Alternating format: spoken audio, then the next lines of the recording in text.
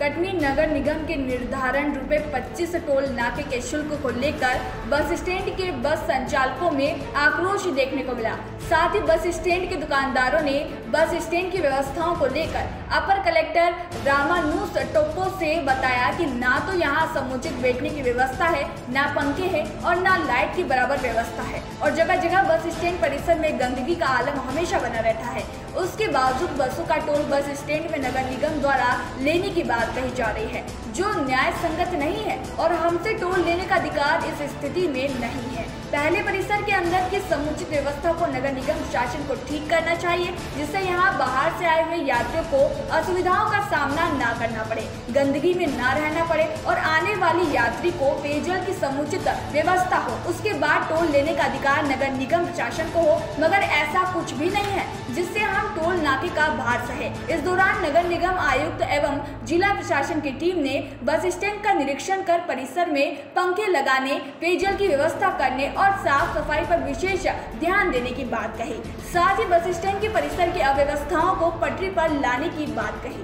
Toll नाका लगाया जा रहा है, जो कि बिल्कुल भी उचित नहीं है। अगर आप टोल नाका लगा रहे हैं तो उसके बदले में सुविधा क्या दी है जैसे कि अभी आप लोगों ने देखा, कमिश्नर साहब खुद आए। सुविधा के नाम पे बस स्टैंड में प्रतीक्षालय में ना लाइट है, ना पंखे हैं।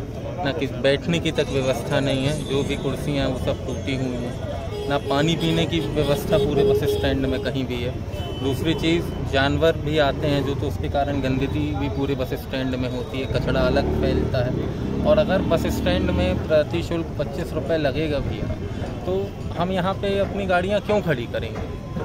जिनकी गाड़ी जैसे मेरी गाड़ियाँ चलती मैं अपनी गाड़ी अपने कैंपस में खड़ी नहीं वो तो विकास शुल्क की बात कर रहे हैं। तो विकास शुल्क के नाम पे दे क्या रहे हैं? तिवारी जी अभी कमिश्नर साहब ने बोल के गए कि ऐसा करेंगे सुविधा होगी। आप भी यहीं हैं मैं भी यहीं हूँ। आप देखिएगा कि एक हफ़्ते के अंदर अगर एक भी यहाँ पे विकास शुल्क हो तो आप जो बोलेंगे मैं वो चीज़ करने को तैयार है। तो, तो क्या व्यापारी विकास शुल्क देने से मना कर रहा है? या आप लोग इनकार कर रहे हैं? मना कर रहे हैं। सर हम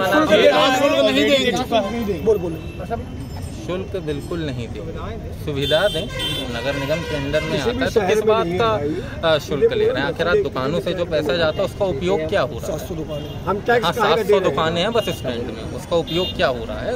उसके उपयोग ये हो रहा है कि यहाँ पानी पीने की व्यवस्था प्रशासनिक जो लोग अधिकारी आते हैं उनका क्या कहना था क्या आपसे बात हुई? जो। टैक्स दे रही है तो प्रशासनिक अधिकारी आए तो उन्होंने आपसे बात किया। क्या लगा बात देखिए बात करने बात करने में बहुत फ़र्क है वो तो बोल करके गए कि अभी हफ़्ते भर में यहाँ की व्यवस्था शुरू हूँ। अब देखते हैं व्यवस्था शुरू होती है कि नहीं होती है। बस ऑपरेटर एसोसिएशन के आप अध्यक्ष जी।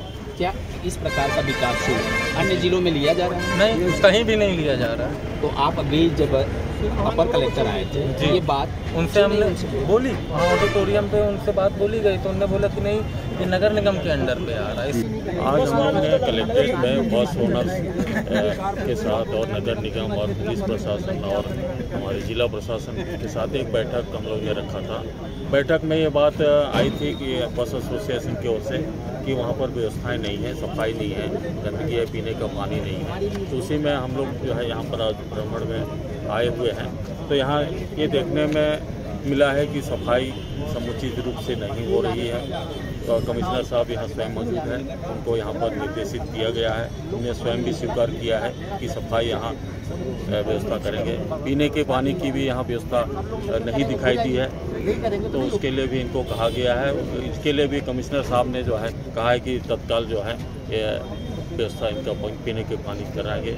और भी जो दूसरी यहाँ पर कमियाँ हैं या असुविधाएँ हैं उसको भी जो है दूर करने का प्रयास सर जैसा आपने कहा कि स्वयं सदन दाखले जी ने ये माना है कि यहाँ पे गंदगी है और समुचित व्यवस्था नहीं है तो इस पर क्या कार्रवाई होगी? कार्रवाई ये होगी कि उस कमी को अव्यवस्था को दूर करने का प्रयास किया जाएगा।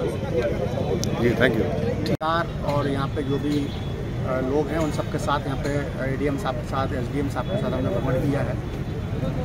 और कुछ समस्याएँ बस स्टैंड की हैं, जैसे कि पानी की प्याऊ की एक समस्या है। पंखे हैं, कुछ फर्नीचर टूटा हुआ है। ये सब समस्याएँ बताई गई हैं, साफ़ सफ़ाई की भी कुछ समस्याएँ यहाँ पे देखी, जो कि दिखी भी कि इसमें काम करना वाकई ज़रूरी है। साथ में एक पार्किंग शुल्क के रूप में चूँकि ये एक ऐसी राशि है जिसका कि खाता अलग खोला जाएगा, बस स्टैंड भी उसको संचालित करेगा और राशि आएगी, उसका पैसा नगर निगम में जमा नहीं करेंगे हम। उसका अलग अलग खाता बनाया जाएगा और उस खाते से जो भी राशि आएगी, उसका विकास नगर बस स्टैंड परिसर में ही किया जाएगा। तो इन तीनों चारों बिंदुओं के आधार के लिए आज हमने यहाँ पे भ्रमण किया था। नगर निगम से संबंधित जो विषय है, साफ़ सफ़ाई का, पानी का, पेयजल का और इलेक्ट्रिसिटी का लाइट का वो सब काम नगर निगम तय करेगा और अपना काम करवाएगा। इसके अलावा साथ साथ यहाँ पर एसोसिएशन के लोग बस के दूसरे दुकानदार और नगर निगम की, की एक छोटी सी समिति भी बनाएँगे जो कि साप्ताहिक रूप से या पाक्षिक रूप से अपनी बैठक करके यहाँ पे जो भी कार्रवाई काम होना है उसके संबंध में निर्णय लेंगे। सर इसके पहले घर- इसकी खबरें प्रकाशित हुई है मगर आज तक सफ़ाई नहीं हो रही। क्या कारण है? सफ़ाई तो यहाँ पे नियमित रूप से होती रहती है। आठ लोग यहाँ पे स्पेशली सफ़ाई कार्य के लिए लगाए गए हैं। और मैंने इसलिए यहाँ पे ये आग्रह भी किया है कि सभी दुकानदार, सभी बस बस ओनर्स को स्वयं भी इस बात का ध्यान रखें कि बस साफ़ करते समय कचरा बस स्टैंड पर ना फेंकें। दुकानदार भी अपने दुकान के आगे डस्टबिन रखें और कचरा इधर उधर ना डालें, बल्कि जो दूसरे लोग उससे सामान खरीदते हैं उनको भी वो इंसिस्ट करें कि खाने के बाद रैपर या दूसरी चीज़ें बस स्टैंड बना डालें। कचरा अधिकतर उसी का है। ये नई चौकी जो सामूहिक ज़िम्मेदारी है कि वो सब लोग साथ में ये जो नई चौकी बनाई जा रही है बसों से कुछ टो, टोकन के लिए क्या इसका ये प्रावधान है? इसके लिए बनाई जा रही है कि बसें कितनी बसें यहाँ पे आती हैं उनका जो नंबर है बसों का जो नंबर है वो भी उससे ट्रेस होगा और कितनी देर तक यहाँ पर रुकती हैं। वो सब चीज़ें ट्रेस की जाएँगी जिससे बसों की व्यवस्था बस स्टैंड की जो सीमित क्षमता है उसको देखते हुए कैसे हम व्यवस्थापन कर सकते हैं। सर यह कार्य तो परिवहन विभाग अच्छी तरीके से कर सकता है। नगर निगम को इसमें आने की ज़रूरत ही नहीं है। नहीं नगर निगम नगर निगम के पर्पज से ये सब काम कर रहा है परिवहन के पर्पज से नहीं कर रहा है। विकास की दृष्टि से अगर देखें तो प्रियदर्शनी बस स्टैंड काफ़ी पीछे है अन्य जिलों की अपेक्षा। लेकिन उस पर भी विकास शुल्क पच्चीस रुपया बस वालों से लेने का जो प्रयास किया जा रहा है ऐसा क्यों? विकास की मूल सुविधाएँ तो गायब हैं। नहीं यहाँ पे विकास के बहुत काम हुए हैं। अभी भी हमने जो गेट लगाया है जो काउंटर लगा रहे हैं पीछे और जो रोड का डेवलपमेंट कर रहे हैं टॉयलेट्स हमने बनवाए हैं। बाकी चीज़ें भी हम लोग करेंगे। एक पर्टिकुलर स्टाफ यहाँ पे आठ लोगों का यहाँ पे काम सफ़ाई काम के लिए लगा हुआ है। कटनी से प्रवीण कुमार पाराशर की ये रिपोर्ट